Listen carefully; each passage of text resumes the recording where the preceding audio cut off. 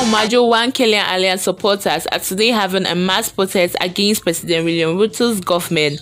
The mass action, which has been called by opposition leader Raila Odinga, is meant to pressure Kenya Kwanza government to address the hiking prices of commodities and deteriorating state of economy in Kenya. Current situation at busy Thika Superhighway towards Nairobi CBD gears up. Hello and welcome to Kenyan Secrets. If you're new to the channel, please do not forget to like, comment, subscribe, hit the notification bell to be able to watch our uploaded videos. The busy Thika Superhighway, which connects Nairobi CBD and its environs, are perceived to be Raila's strongholds, remain clear with no heavy traffic as is always weakness. Contrary to Kenya's expectation that the always busy roads could either be full of protesters or vehicles heading to CBD remain super clear. Other areas like the Ngong roads remain impassable with police and protesters engaging chasing battles as they try to access the CBD. Other roads is also said to be full of protesters. Specifically, Moi Avenue to Uhuru's Highway all the way University Way roundabout business are set to be shut down with the fear of vandalization of their businesses. Kenyan politics has been much hotter and tricky, more so after the mass action was launched by Raila Odinga.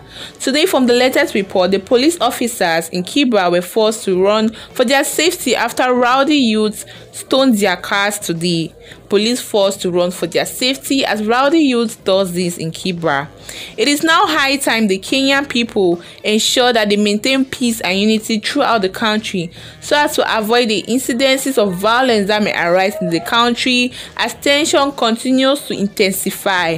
The Azimio la Umoja One Kenyan Coalition Party leader, Honorable Raila Odinga, has been much more powerful in the country and determined to fight for the ordinary Kenyans when it comes to time of hardship. Let Kenyan youth to be in the forefront to champion for peace and keep off from being used by politicians to cause violence in the country as tension worsens between the government and the opposition. Happening now at DCI headquarters as Raila allies arrive, currently issuing state after arrest. As Kenyans await the arrival of the Orange Democratic Movement leader Raila Odinga and his allies for the mass action, a section of legislators drawn from the Orange Democratic movement are currently at the Directorate of Criminal Investigation headquarters. These follow the arrest of several members of parliament and senators allied to the Azimio coalition who were demonstrating at the Kenyatta International Convention of Center today where police were called in to bring back normalcy. The team at the Directorate of Criminal Investigation is keen on meeting the DCI boss to ensure and guarantee them security during the demonstration, saying that demonstrations are enshrined in the Constitution and therefore security should be guaranteed.